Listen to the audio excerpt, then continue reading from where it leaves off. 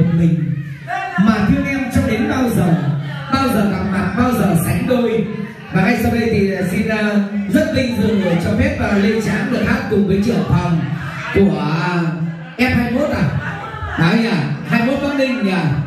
Và ngay sau đây xin mời uh, tất cả anh chị hãy uh, hưởng ứng một tràng vào tay ạ. Ít chúng ta vỗ tay ít mà nhiều chúng ta vỗ tay nhiều nữa ai mà vướng uh, hoa không vỗ được thì cứ mông mà phát được không ạ?